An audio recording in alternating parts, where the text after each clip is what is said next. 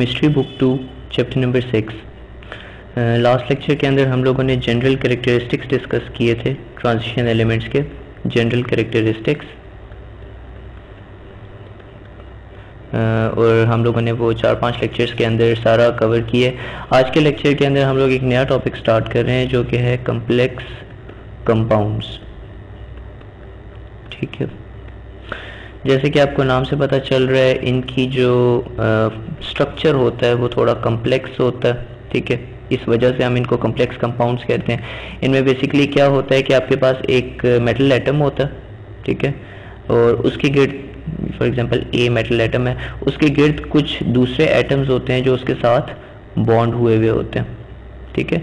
और ये जो पूरा स्ट्रक्चर आपके पास बनता है, इसका कोई ना कोई इसके ऊपर चार्ज होता है। और ये बाकी आपके फॉर एग्जांपल अगर ये इस तरह का आपके पास कम्प्लेक्स बन रहा है तो हम इसको कहेंगे ये कम्प्लेक्स केटाइन है। ठीक है? पॉजिटिवली चार्ज है ना? तो ये केटाइन है, ठीक है? और आपके पास ये नेगेटिवली चार्ज भी हो सकता है। फॉर एग्जांपल सी नाम के आइटम्स हैं, जिसके साथ आपके पास डी के लेट से फाइव लगे हुए हैं। थ्री फोर और साथ कुछ ई e टाइप के भी कुछ लगे हुए हैं। ठीक है? और आपके पास इसका चार्ज है माइनस थ्री लेट से। सो ये आपके पास एक एनाइन है। ठीक है? तो आपके पास जो होता है, जो बाय डेफिनेशन कम्प्लेक्स कंपाउंड्स के अंदर क्या होता है कि आपके पास कोई एक एटम होता है दरमियान में, उसके साइडों पे आपके पास मुख्तलिफ़ एटम्स होते हैं जो एक से डिफरेंट टाइप के एलिमेंट्स के भी हो सकते हैं। ठीक है? वो आपके पास बॉन्ड हुए हुए होते हैं। ठीक है? और ये जो बॉन्ड होता है अगेन इसकी जो नेचर है, वो भी डिपेंड करती है, ये जो आपके पास साइड पे आइटम्स लगे हुए ये किस टाइप के हैं? अभी हम डिटेल में ये सारी चीज़ों को कवर करेंगे, लेकिन जो सबसे पहली चीज़ है कि जो आपके कम्प्लेक्स कंपाउंड्स हैं, उसमें या तो कैटाइन कम्प्लेक्स होगा या एनाइन कम्प्लेक्स होगा, ठीक है? यानी ये पॉसिबिलिटी है कि उस कंपाउंड के अंदर जो कम्प्लेक्स केटाइन होगा कम्प्लेक्स केटाइन और अगर केटाइन कम्प्लेक्स हो गया तो इसका मतलब है जो फॉर एग्जांपल ये पूरा कंपाउंड है, इसके साथ फॉर एग्जांपल मैं सी एल लगा देता हूँ, ठीक है? तो हो सकता है आपका कम्प्लेक्स केटाइन हो और साथ जो आपका एनाइन हो, वो सिंपल हो, ठीक है? और दूसरी पॉसिबिलिटी इसके बिल्कुल वाइस वर्सा है, कि आपके जो है वो कम्प्लेक्स एनाइन हो और सिंपल केटाइन हो, ठीक है? Simple cation. तो ये दोनों पॉसिबिलिटीज हो सकती हैं आपके पास कम्प्लेक्स कंपाउंड्स के अंदर ठीक है? आ, हम बात स्टार्ट करते हैं एक कंसेप्ट से कि फॉर एग्जांपल अगर मैं कॉपर सल्फेट कॉपर सल्फेट आप अंडरस्टैंड करते हैं? कॉपर सल्फेट जो है अपने क्रिस्टलाइन फॉर्म में इसको हम नीला थोथा भी कहते हैं उर्दू के अंदर दिस इज़ प्योर मतलब टॉक्सिक होता है ये। लेट से कॉपर सल्फेट मैंने लिया और इसको मैंने डिज़ोल्व कर दिया पानी के अंदर तो इसके जो आपके पास वो बनेंगे आ, किस तरह ये स्प्लिट होगा? कॉपर प्लस में और sulphate SO four negative two यूँ करके होगा ना? इसके अलावा लेट से हम कोई और एग्जांपल लेते हैं वो भी अमूमन यूँ ही होगा कि जो आपका पॉजिटिव पार्ट है वो अलग हो जाएगा और नेगेटिव पार्ट अलग हो जाएगा। लेट से मेरे पास एक कंपाउंड है कुछ इस तरह का। सिल्वर के साथ मेरे साथ तीन अमाइन ग्रुप्स लगे हुए हैं, ठीक है? और इस पूरा सी एल के साथ ये बॉन्डेड है, ठीक है? अब जब इसको मैं वाटर के अंदर डिजोल्व करूँगा तो ये मेरे पास किस तरह स्प्लिट होगा? किस तरह ये आयनाइज होगा? ये मेरे पास कुछ यूँ होगा कि ये जो अमीन और ये मेरे पास ये अमीन के कितने ग्रुप्स हैं मेरे पास? ये अमीन टू होंगे। सिल्वर अमीन जो मेरे पास है ना ये टू ये मेरे पास पूरा का पूरा सेपरेट आ जाएगा वन प्लस चार्ज के साथ और क्लोरीन मेरे पास यूँ आ जाएगा, जब मैं इसको डिजोल्व करूँगा, ठीक है? अब ये जो पूरा मेरे पास आ रहा है, इस पूरे को हम कह देते हैं कि ये एक कम्प्लेक्स कंपाउंड है और कम्प्लेक्स ये केटाइन है, या एनाइन है, ये कम्प्लेक्स केटाइन है और अब देखो इस केस में जो एनाइन है वो सिंपल एनाइन है, ठीक है? अब हम इसके उस पर आते हैं कि इसकी कंपोनेंट्स क्या होते हैं? Components of a complex compound सबसे पहला कंपोनेंट जो आपके पास होता है, वो तो होता है central metal atom central metal atom या आइन सेंट्रल मेटल आइन लेट से ये जो सेंट्रल मेटल आइन होता है, ये फॉर एग्ज़ाम्पल इस केस में ये जो आपका कम्प्लेक्स वाला पार्ट है, आप इसको गौर करो, उसको भूल जाओ क्लोरीन को फ़िलहाल भूल जाओ। ये आपके पास जो कम्प्लेक्स वाला पार्ट है, इसमें कोई एक एटम होता है, जब मैंने डिफाइन किया था, तब भी मैंने कहा था, कोई एक ऐसा एटम होता है, बाकी जो कुछ छोटे एटम्स हैं, वो उसके साथ बॉन्ड हुए हुए होते हैं। वो जो दरमियान वाला एटम होता है, वो हमेशा एक मेटल होता है, ठीक है? इस कम्प्लेक्स के केस में ये वाला जो मेटल है, ये सिल्वर है। ठीक है? और इस केस में ये ए मेटल है और इस केस में ये सी मेटल है, ठीक है? तो आपके पास एक सेंट्रल मेटल आइन होता है, ठीक है? और इसका काम क्या होता है कि इसने बाइंड करके रखा हुआ होता है, ये जो साइड पे इसके लगे हुए होते हैं। और ये जो साइड पे लगे हुए होते हैं, ये इसका दूसरा कंपोनेंट है। ये जो साइड पे लगे हुए होते हैं, हम इनको कहते हैं ये लेगेंड्स होते हैं, ठीक है? तो अब हम कम्प्लेक्स कंपाउंड की कुछ एग्जांपल्स देखते हैं, जिसके अंदर हम देखते हैं कि ये दो जो चीज़ें हैं, ये कहाँ पे लगी हुई होती हैं और कैसी लगी हुई होती हैं। फॉर एग्जांपल हम लेते हैं पोटेशियम फेरोसाइनाइड जिसका फॉर्मूला होता है K four F E C N six ठीक है? इसमें अगर आप इसको स्प्लिट करते हो तो ये के के ऊपर क्या चार्ज आ जाएगा? पोटेशियम पे क्या चार्ज होता है? प्लस वन एंड ये जो आयरन है, इसके ऊपर, पूरे के ऊपर क्या चार्ज आ जाएगा? ये जो पूरा कम्प्लेक्स आपके पास पार्ट है, ये यूँ स्प्लिट होगा। फेरोसाइनाइड और चूँकि इसके ऊपर प्लस वन चार्ज था और यहाँ पे नीचे आपके पास फोर आ रहा है, इसका मतलब है इस पूरे के ऊपर आपके पास माइनस फोर चार्ज है। ठीक है? तो अब अगर मेरा आपसे क्वेश्चन हो, ये आपके पास एक ऐसा एग्ज़ाम्पल है जिसके अंदर कम्प्लेक्स एनाइन है आपके पास। ठीक है? इसमें सेंट्रल मेटल एटम कौन सा है? इसमें जो आयरन है, उसके साथ छह साइनाइड ये आपके पास लिगेंड्स लगे हुए हैं, ठीक है? तो इस केस में जो साइनाइड है आपके पास, ये लिगेंड है, और जो आपके पास आयरन है, ठीक है? ये आपके पास सेंट्रल मेटल लाइन है यहाँ पे। सेंट्रल मेटल आइन ठीक है? तो ये एग्जांपल होगी सेंट्रल मेटल आइन की और आपके लिगेंड्स की। ये जो लिगेंड्स होते हैं, इनका काम क्या होता है? ये चूँकि बॉन्ड हुए हुए होते हैं सेंट्रल मेटल आइन के साथ तो ये basically lone pairs of electrons जो आप पहले भी ये कंसेप्ट पढ़ चुके हो, इनके पास लोन पेयर्स कह रहा हूँ, जो इनके पास इलेक्ट्रॉन्स होते हैं, जो इनको डोनेट करते हैं ये आयरन कोलेट से। इस केस में ये आयरन को डोनेट करेंगे, ठीक है? फॉर एग्ज़ाम्पल आप इसकी बात करो आयरन जिसके साथ छह साइनाइड ग्रुप्स लगे हुए हैं सी एन और जो साइनाइड होता है वो नेगेटिव वन चार्ज कैरी करता है। इसका मतलब है उसको एक इलेक्ट्रॉन चाहिए होता है अपना बॉन्ड फिल करने के लिए। ठीक है? हम एज्यूम करते हैं कि इसमें आयनिक बॉन्डिंग हो रही है। तो अगर आयनिक बॉन्डिंग हो रही है तो इन सबको एक एक बॉन्ड आयरन दे देगा। अब आयरन जो है वो क्या, कितना चार्ज होल्ड करता है? वो आयरन तो डिफरेंट ऑक्सीडेशन स्टेट शो करता है ना। अब हमें कैसे पता चलेगा कि आयरन का क्या चार्ज है इस वाले कम्प्लेक्स के अंदर? अब देखो कि आयरन का चार्ज लेट से एक्स है, और साइनाइड के एक का चार्ज कितना होता है? माइनस वन तो छह का चार्ज कितना हो जाएगा? माइनस सिक्स हो जाएगा, ठीक है? माइनस वन इंटू सिक्स ठीक है? तो इन दोनों का जो सम है, वो इस पूरे का चार्ज होना चाहिए, और वो माइनस फोर है तो इसका मतलब हो गया एक्स प्लस माइनस सिक्स यानी X minus six is equal to minus four so X is equal to six minus four which is two और यहाँ से आपको ये पता चलता है कि यहाँ पे आपके पास इसका जो चार्ज है आयरन का, वो प्लस टू है, ठीक है? तो यहाँ पे सेंट्रल मेटल आइन का जो आपके पास चार्ज है वो प्लस टू है। तो सेंट्रल मेटल आइन होता है, जिसके साथ आपको एक एक इलेक्ट्रॉन जो होता है, वो बॉन्ड हुआ हुआ होता है, और हर लिगेंड जो होता है, वो अपना एक इलेक्ट्रॉन जो होता है, वो बॉन्ड कर रहा होता है।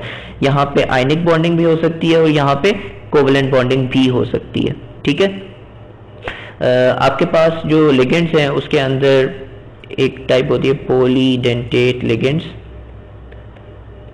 polydentate ligands mostly जो आपके लेगेंड्स हैं ना, वो कुछ ऐसे होते हैं कि आपके जो फॉर एग्जांपल साइनाइड आइन है, ये कितने इलेक्ट्रॉन्स मैक्सिमम बॉन्ड कर सकता है आयरन के साथ? सिंगल इलेक्ट्रॉन ये मैक्सिमम सिंगल इलेक्ट्रॉन कर सकता है, ठीक है? सिंगल इलेक्ट्रॉन की बॉन्डिंग हो सकती है इन केस ऑफ़ साइनाइड ठीक है? माइनस वन इसका चार्ज है। कुछ ऐसे आपके पास होते हैं लेगेंड्स फॉर एग्जांपल आप ऑक्सिलेट लेगेंड की बात करते हो। ऑक्सिलेट ऑक्सिलेट जो है, इसका फॉर्मूला आपके पास होता है सी टू ओ फोर और पूरे के ऊपर चार्ज आपके पास होता है माइनस टू ठीक है? अगर तो ये आपके पास ये वाला ऑक्सिलेट लेगेंड है ना, इसका स्ट्रक्चर कुछ ऐसा होता है कि कार्बन के साथ कार्बन बॉन्ड होता है यहाँ पे आपका। ठीक है? यहाँ पे डबल बॉन्ड होता है। ऑक्सीजन के साथ कार्बन का। और यहाँ पे आपके पास एक और ऑक्सीजन होता है और यहाँ पे आपके पास एक बॉन्ड की एम्प्टी प्लेस होती है, ठीक है? सी डबल ओ नीचे भी सी डबल ओ तो ये सी टू ओ फोर और यहाँ पे देखो आप दो बॉन्ड्स की टेंडेंसी रखता है। ये जो पूरा है, इसको हम कहते हैं ऑक्सिलेट ठीक है? यहाँ पे आप नेगेटिव साइंस भी लगा सकते हो। नेगेटिव वन यहाँ पे नेगेटिव वन यहाँ पे तो ये आपके पास negative one negative one negative two आपके पास टोटल ऑक्सिलेट के ऊपर आता है। ऐसे जो आपके पास लेगेंड्स होते हैं, जो इस तरह के लेगेंड्स होते हैं पूरे पूरे जो दो या दो से ज़्यादा इलेक्ट्रॉन्स करते हैं, जो दो करते हैं, हम उनको कहते हैं बायडेंटेट लेगेंड्स। बाय का मतलब टू। Bidentate legends. ठीक है? इसी तरीके से आपके पास जो दो से ज़्यादा करते हैं, हम उनको कहेंगे, जो तीन करेंगे, हम उनको कहेंगे ट्राइडेंटेट ठीक है? फिर इसी तरह आपके पास आगे कहानी चलती रहती है और आपके पास ये सारी कैटेगरी है पोलीडेंटेट लेगेंड्स की। ठीक है? यानी एक से ज़्यादा इलेक्ट्रॉन्स जो होते हैं, ये डोनेट करते हैं किसको? सेंट्रल मेटल एटम को। सेंट्रल मेटल आइन को ये इलेक्ट्रॉन्स या तो डोनेट कर देते हैं या उसके साथ बॉन्डिंग में पार्टिसिपेट करते हैं। ठीक है? जो सेंट्रल मेटल एटम है सेंट्रल मेटल आइन है, इसके लिए एक इंपॉर्टेंट पॉइंट ये है कि जो सेंट्रल मेटल आइन होता है, ये आपके हमेशा पॉजिटिवली चार्ज होता है। पॉजिटिव चार्ज होता है इसके ऊपर। ठीक है? ये आपके पास हमेशा पॉजिटिव चार्ज होगा सेंट्रल मेटल एटम के ऊपर। अच्छा इसके बाद जो अभी हम लोगों ने दो प्रॉपर्टीज़ डिस्कस की हैं दो कंपोनेंट डिस्कस किए। हैं सबसे पहला कंपोनेंट हम लोग देख रहे थे सेंट्रल मेटल आइन और दूसरा कंपोनेंट था लिगेंड और इन दोनों की हम लोगों ने डिटेल के अंदर ये चीज़ें डिस्कस की। एक और बल्कि लिगेंड्स के हवाले से कि लिगेंड्स जो होते हैं, वो पॉजिटिव नहीं होते। यानी लिगेंड्स जो होते हैं, वो या तो न्यूट्रल होते हैं न्यूट्रल लिगेंड्स ठीक है, या आपके पास होते हैं एनाइनिक लिगेंड्स ठीक है? मेरे कहने का मतलब ये है कि ये कभी भी यूँ नहीं होगा कि यहाँ आपके पास सोडियम एज ए लिगेंट काम कर रहा है और सोडियम अपने इलेक्ट्रॉन्स इसको दे रहा है। इलेक्ट्रॉन्स ये एक्चुअली देते नहीं है, ये जो लिगेंट्स होते हैं, ये बॉन्डिंग में पार्टिसिपेट करते हैं सेंट्रल मेटल लाइन के साथ, ठीक है? तो बेसिकली आप यूँ समझ लो कि सेंट्रल मेटल आइन इनको इलेक्ट्रॉन्स जो होता है वो डोनेट कर रहा होता है। तो जब आपके न्यूट्रल लिगेंड्स होते हैं फॉर एग्जांपल वाटर आपका एक न्यूट्रल लिगेंड है अमीन आपका एक न्यूट्रल लिगेंड है, आपको मैं इस, इन दोनों की एग्जांपल्स बता देता हूँ। हेक्सा एक्वा ये आपका एक कम्प्लेक्स केटाइन है। इसी तरह आपके पास एक और कम्प्लेक्स केटाइन है chromium with ammonia six three plus अब देखो, इनके अंदर जो सेंट्रल मेटल आइंस हैं, वो आपके पास टाइटेनियम है और क्रोमियम है और यहाँ पे आपके पास वाटर है, जो कि छः वाटर मॉलिक्यूल्स टाइटेनियम के साथ बॉन्ड हुए हुए हैं और जो सेंट्रल मेटल आइन है, यहाँ पे जो लेगेंड्स है, ये आपके लेगेंड्स है ना? वाटर आपका यहाँ पे लेगेंड है एक्वा और यहाँ पे आपका अमीन लेगेंड है, ठीक है? और जो आपके लिगेंड्स हैं, ये दोनों यहाँ पे न्यूट्रल लिगेंड्स हैं। इसी तरह आपके पास एनाइनिक लिगेंड्स भी होते हैं, यानी नेगेटिवली चार्ज फॉर एग्जांपल यहाँ पे आपके पास साइनाइड आइन जो ये था, यहाँ पे आपके पास ये एनाइनिक लिगेंड था, ठीक है? तो एनाइनिक और कैटाइनिक लिगेंड्स हो गए। थर्ड हमारे पास जो कैरेक्टरिस्टिक होता है थर्ड कंपोनेंट वो होता है coordination number coordination number coordination number ये होता है कि जो आपके जो लिगेंड्स होते हैं ना the number of lone pairs of electrons given away by ligands इसको ligands to the central metal ion जो था आपके पास सेंट्रल मेटल लाइन ठीक है? यहाँ पे एक और कंसेप्ट आ गया जो मैं अभी आपको बता दूँ कि इसने लोन पेयर्स क्यों कहा है।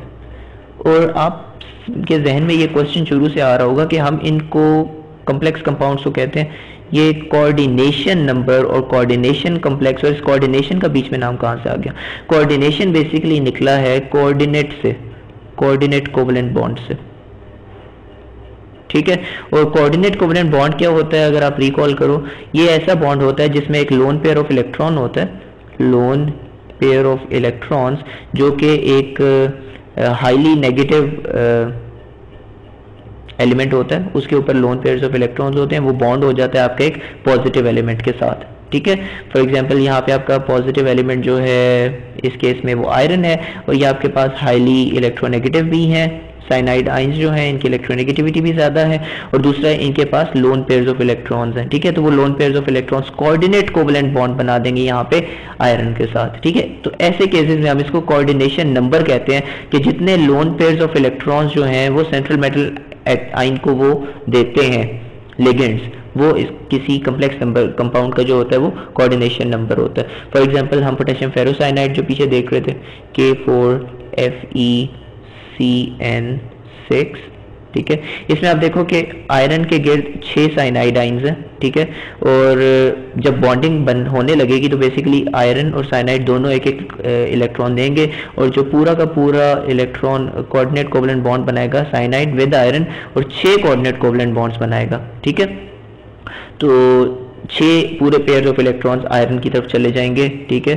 प्रॉपर उसको मिल नहीं जाएँगे, क्योंकि ये आयनिक बॉन्ड तो नहीं बन रहा, ठीक है? उसकी तरफ़ जा रहे होंगे। थोड़ा सा पोलरिटी इंड्यूस हो जाएगी, आप यूँ कह लो कि छः यहाँ पे इसका कोऑर्डिनेशन नंबर हो गया। कोऑर्डिनेशन नंबर ठीक है? इसी तरह आपके पास और एग्जांपल्स भी हैं, जिसके अंदर हम ले सकते हैं platinum oxalato two minus two C A अभी आपके पास एक एग्ज़ाम्पल है, एक कम्प्लेक्स कंपाउंड की, ठीक है? इसके अंदर जो आपके पास एनाइनिक लेगेंड है एनाइनिक सॉरी लेगेंड नहीं है एनाइनिक आपके पास कम्प्लेक्स है। और एनाइनिक कम्प्लेक्स के अंदर फर्दर अगर आप देखो तो आपके पास जो है, वो प्लेटिनम सेंट्रल मेटल मेटलाइन है, जिसके गिर्द ऑक्सिलेटो लेगेंड्स लगे हुए हैं। अब एक ऑक्सिलेटो जो होता है, वो कितने आपके पास जो बॉन्ड्स होता है, वो बनाता है? ये कितने बॉन्ड्स आपके दो इलेक्ट्रॉन्स होते हैं ना जो ट्रांसफ़र करता है। तो एक ऑक्सिलेटो चूँकि दो करता है और यहाँ पे दो है तो इसमें जो आपका कोऑर्डिनेशन नंबर होगा, वो फोर होगा, ठीक है? फोर कोऑर्डिनेशन नंबर ठीक है? तो इस तरह हम लोग कोऑर्डिनेशन नंबर कैलकुलेट करते हैं। फोर्थ हमारे पास जो कंपोनेंट है कम्प्लेक्स कंपाउंड्स का, वो होता है हमारे पास कोऑर्डिनेशन सफियर कोऑर्डिनेशन सफियर ये बहुत ही सिंपल सी चीज़ है। ये जो पूरा का पूरा कम्प्लेक्स हम लोग बात कर रहे थे ना, ये पूरा का पूरा आपका क्या कहता है? कोऑर्डिनेशन सफियर्स ठीक है? फॉर एग्जांपल ये आपके पास कोऑर्डिनेशन सफियर है पूरा, ठीक है? जो ब्रैकेट्स के अंदर लिखा हुआ है। इसको आप स्क्वायर ब्रैकेट्स के अंदर लिखते हो। ये आपके पास कोऑर्डिनेशन सफियर्स हैं दो, ठीक है? इसी तरीके से आप ऊपर देखो। हम जितने अभी तक पढ़ रहे थे, ये आपके पास एक कोऑर्डिनेशन सफियर है जो मैंने इस ब्रैकेट के अंदर बनाया हुआ है, ठीक है? ठीक है? ये पूरा आपके पास एक कोऑर्डिनेशन सफियर है। इसके अलावा पोटेशियम निकाल के जो बाकी पार्ट है, जो इस ब्रैकेट्स के अंदर लिखा हुआ है, ये आपके पास अगेन एक कोऑर्डिनेशन सफियर है, ठीक है? सो कोऑर्डिनेशन सफियर हम इस चीज़ को कहते हैं। कोऑर्डिनेशन सफियर के अंदर आपके पास एक सेंट्रल मेटल आइन होता है और साइड पे आपके पास बॉन्डिंग हुई हुई होती है लेगेंड्स के साथ। जो कोऑर्डिनेशन सफियर है ये आपका या तो पॉजिटिव होता है कैटाइनिक होता है या न्यूट्रल होता है या एनाइनिक होता है। न्यूट्रल भी हो सकता है। न्यूट्रल की अभी तक हमने एग्ज़ाम्पल नहीं देखी। फॉर एग्ज़ाम्पल निकल साथ फोर कोबाल्ट के लगे हुए ठीक है? ये आपके पास पूरा कोऑर्डिनेशन सफियर है और इसके साथ आपके पास वो नहीं है। ना कोई कैटाइन लगा हुआ है, ना कोई एनाइन लगा हुआ है। ये आपके पास न्यूट्रल न्यूट्रल कोऑर्डिनेशन सफियर है। ठीक है? इसके अलावा और भी आपके पास न्यूट्रल की एग्जाम्पल्स होती हैं। न्यूट्रल की एग्जाम्पल्स में हम लोग देख लेते हैं। C O N O two तीन एन ओ टू लगे हुए हैं, ठीक है? और तीन आपके पास अमीन ग्रुप्स लगे हुए हैं। और ये आपके पास पूरा का पूरा जो है ये एक न्यूट्रल लेगेंड है। इसके ऊपर चार्ज ज़ीरो है। ना इसके साथ कोई सिंपल केटाइन है, ना कोई सिंपल एनाइन इसके साथ बॉन्डेड है। ठीक है? तो इस पूरे को हम लोग कोऑर्डिनेशन सफियर कहते हैं, जो या के न्यूट्रल होगा या पॉजिटिव या नेगेटिव और लास्ट हमारे पास जो कंपोनेंट है, सबसे लास्ट वो है हमारे पास fifth charge charge on coordination sphere ठीक है? जो कोऑर्डिनेशन सफियर होता है, उसके ऊपर क्या चार्ज होता है? ठीक है? ये बहुत सिंपल सी चीज़ है। फॉर एग्जांपल अगर मैं यहाँ पे लेट से पोटेशियम फेरोसाइनाइड की बात करता हूँ तो कोऑर्डिनेशन सफियर यहाँ पे मेरे पास क्या है?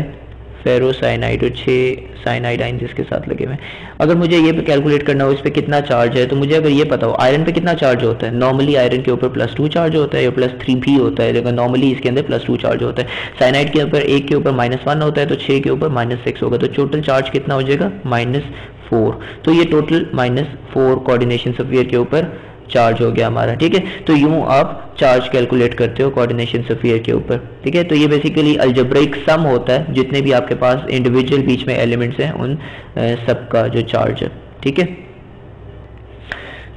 अब हम जल्दी जल्दी से इसका नॉमन डिस्कस कर लेते हैं नॉमन ठीक है? नॉमन uh, में सबसे पहला पॉइंट तो ये होता है कि आप जो आपके केटाइंस होते हैं उनको पहले नेम करते हो और एनाइंस को उसके बाद करते हो। Cations first and then anions ठीक है?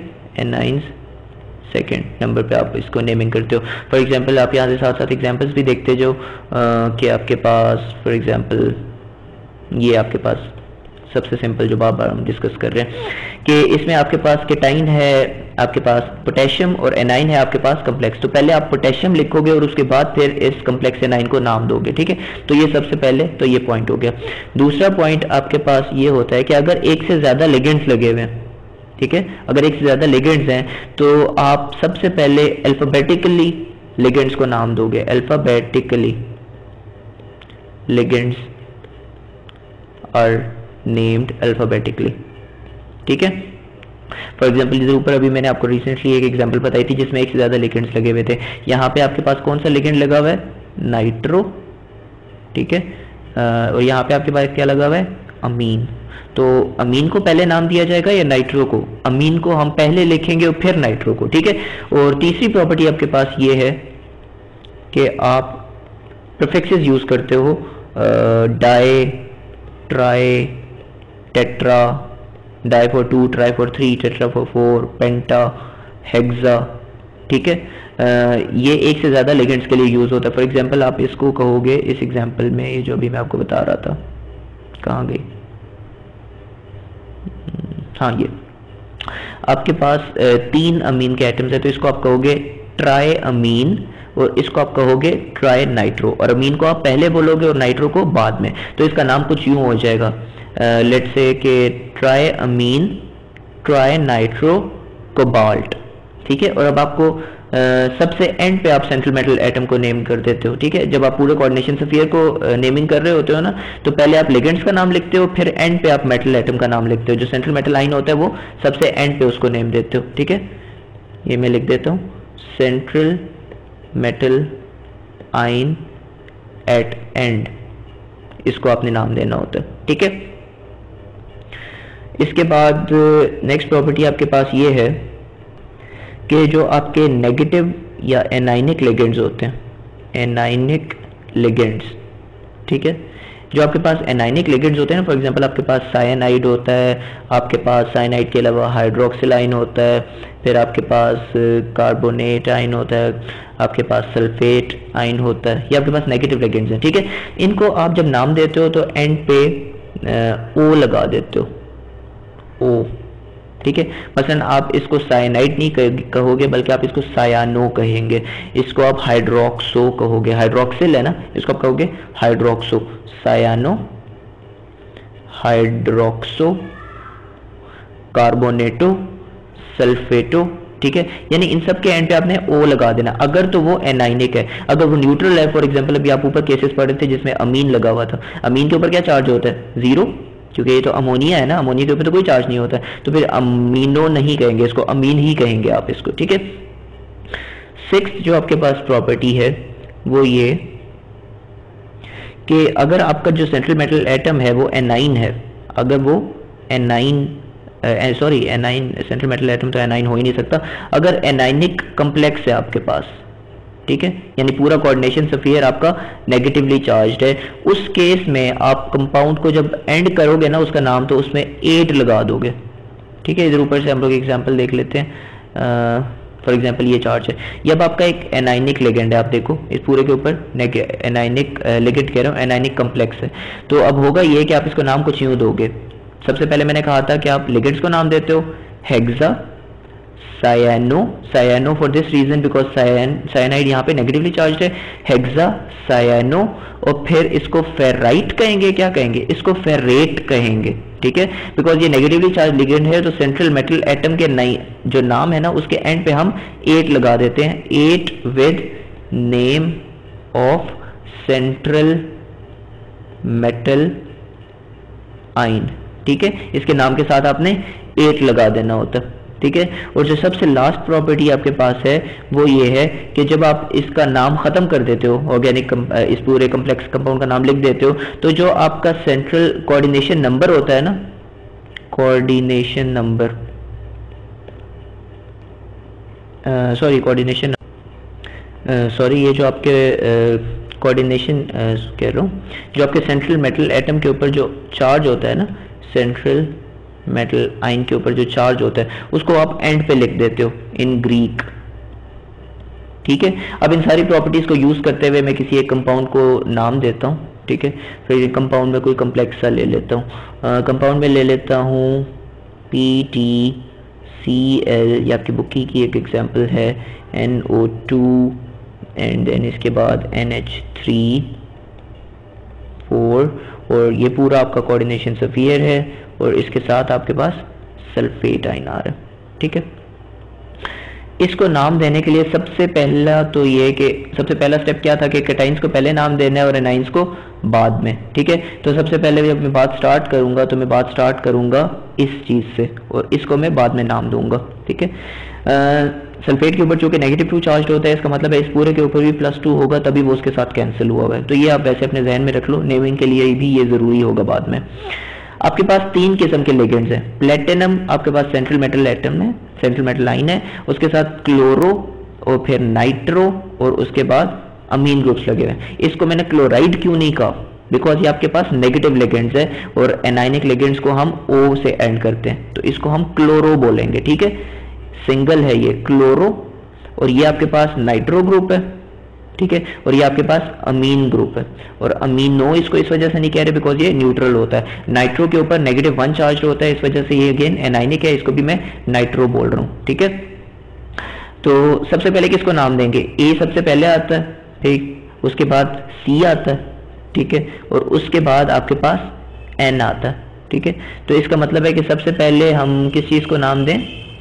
हम सबसे पहले नाम देते हैं अमीन को।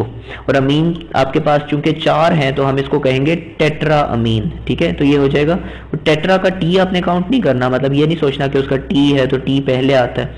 ये हो गया टेट्रा अमीन। और टेट्रा अमीन के अलावा आपके अंदर और क्या है? इसके अंदर नाइट्रो है और क्लोरो है। तो एक सिंगल क्लोरो के लिए आप कह दोगे क्लोरो, और फिर उसके बाद दूसरा आपके पास नाइट्रो।